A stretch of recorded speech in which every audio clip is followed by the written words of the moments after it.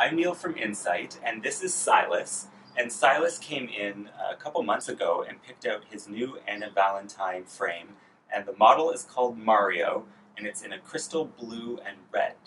Uh, so, Silas, were you looking for any specific frame when you came in? Yeah? What did you want? A circle. Well, you definitely found an awesome one.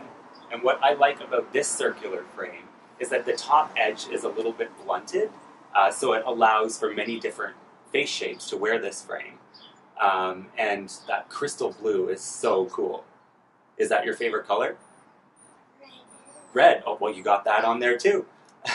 so this frame, handmade in France, uh, fits Silas so well. And what I like about this that Anne et Valentin did was that little keyhole bridge.